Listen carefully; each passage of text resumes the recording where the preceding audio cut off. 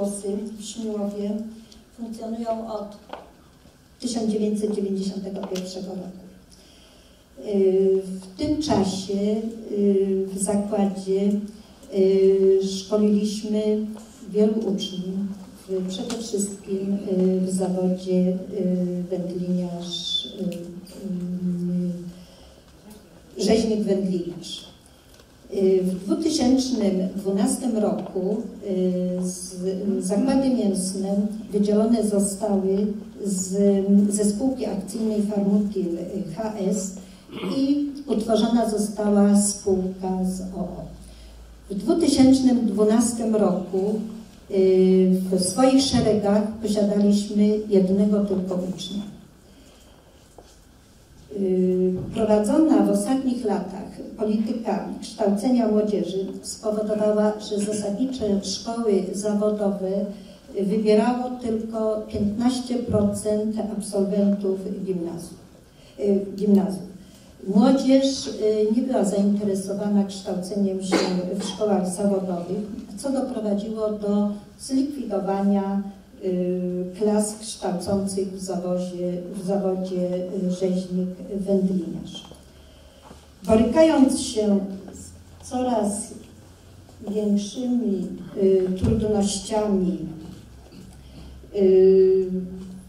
w zatrudnieniu fachowców na stanowiskach niższego szczebla, jak również analizując strukturę y, zawodową, strukturę wiekową naszej załogi, podjęliśmy y, kroki, aby przybliżyć y, zawód rzeźnika uczniom szkół gimnazjalnych.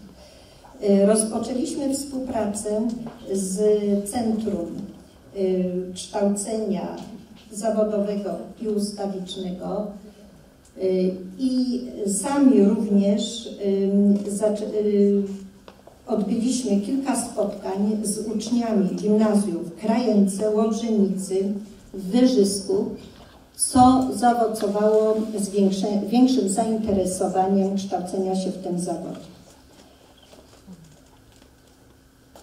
Obecnie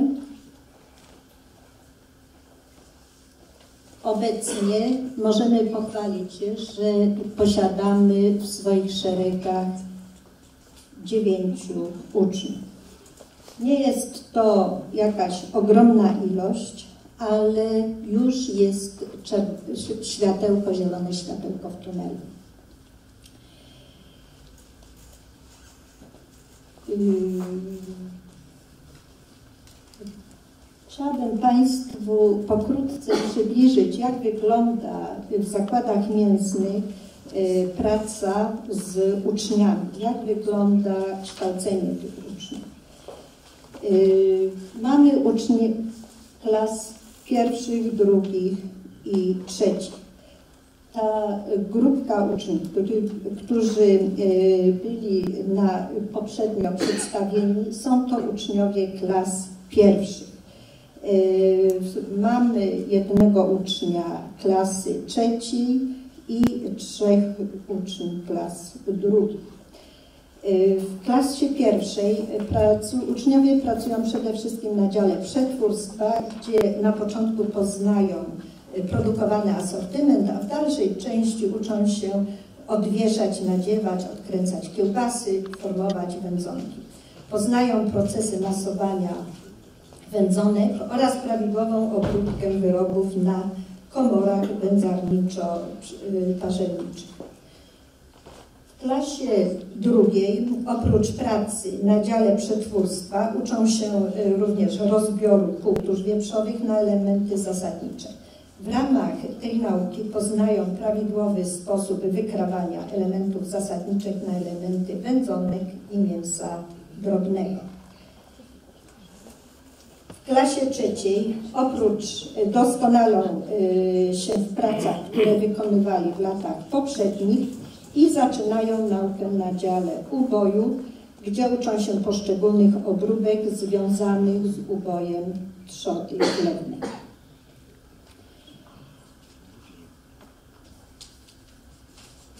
Y, jakie, jakie korzyści Y, z tej współpracy y, wynika, płyną dla szkoły. Przede wszystkim najważniejsi absolwenci mają zagwarantowaną pracę. Zaangażowanie zakładów mięsnych w proces planowania realizacji programów nauczania w zawodach wędliniarz i technik technologii żywności sprawia, że jest on dostosowany do realnych potrzeb rynku pracy. Wysoki poziom kwalifikacji nauczycieli przedmiotów zawodowych, w tym posiadane przez nich aktualnej wiedzy na temat stosowanych w firmie technologii i metod pracy, gwarantuje dobre przygotowanie uczniów do wejścia na rynek pracy.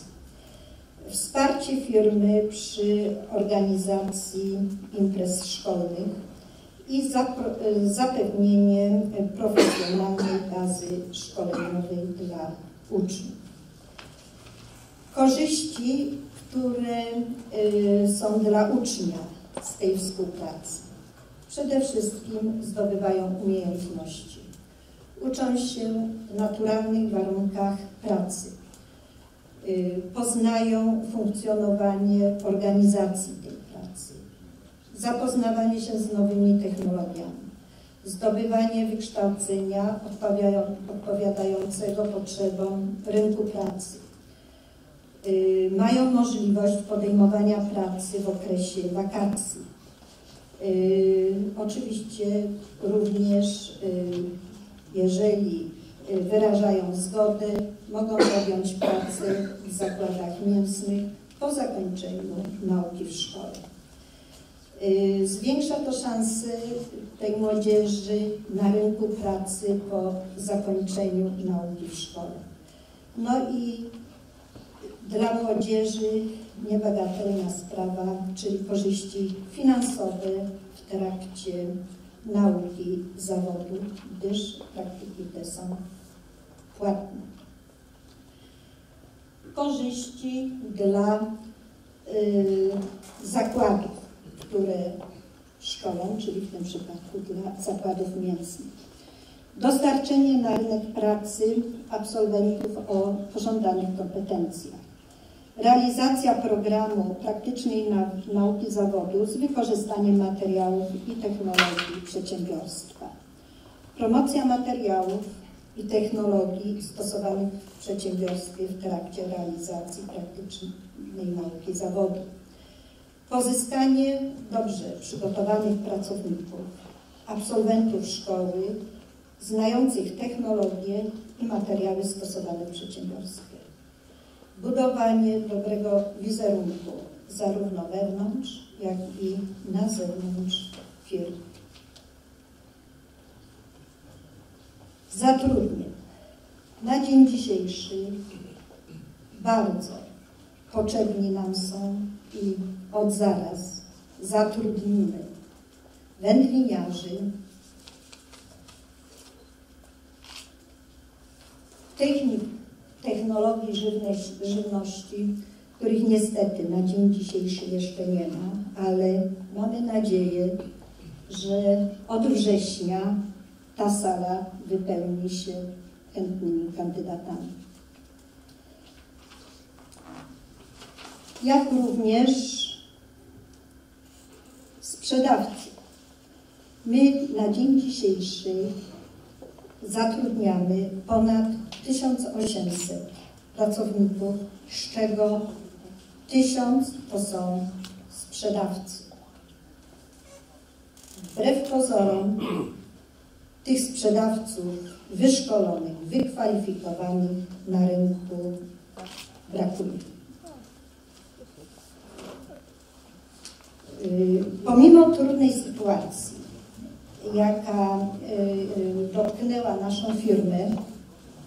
związane jest to z afrykańskim pomorem świn, a, tym, a z tym związany embargiem.